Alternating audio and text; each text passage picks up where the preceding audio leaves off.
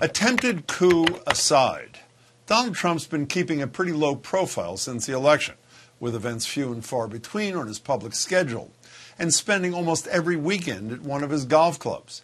Meanwhile, he's been tweeting more than 400 false claims about the election, according to a New York Times count, not to mention that unhinged Facebook rant we talked about earlier, while saying almost nothing about the plague afflicting the American people.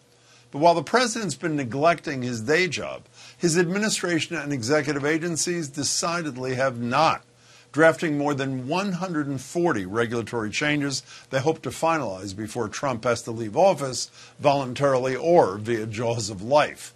The final sprint is commonly referred to as the president's midnight agenda, and as the name suggests, it's done mostly in darkness. Thankfully, ProPublica is shining a light on some of the most controversial and consequential of these actions. Here's just a brief sampling of what the administration has advanced so far. They've broadened the methods by which federal death row inmates can be executed, bringing back firing squads and electrocution as options. They've lowered wages for immigrant farm workers, which will go into effect in a few weeks as the pandemic reaches its worst point and as we depend on those COVID endangered workers even more. They also exempted the Forest Service from environmental reviews, meaning more trees can be cut down and roads constructed without anyone studying the environmental harms. And as if those aren't bad enough, here are a few more items they're hoping to push through soon. They want to narrow food stamp eligibility, dropping around 3 million people from the program, again during a pandemic. They're looking to radically narrow the grounds on which immigrants can seek asylum and make it harder for immigrants who've been deported to reopen their cases.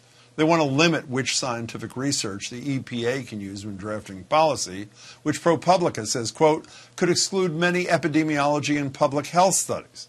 They're also trying to exclude transgender people from federally subsidized homeless shelters, and they want to relax school lunch nutrition guidelines for what feels like the hundredth time, because I guess having almost 20% of our kids obese is not just quite enough. In the interest of time, I'll stop there. Experts say it's unlikely every proposal will make it into the Federal Register, but ProPublica estimates as many as three dozen rules could be finalized before January 20th. Luckily, Joe Biden does have a few options to reverse them, a few fairly straightforward, some trickier and more time consuming, and some that would need congressional approval, which appears to depend on voters in Georgia. But that's not the point of tonight's story.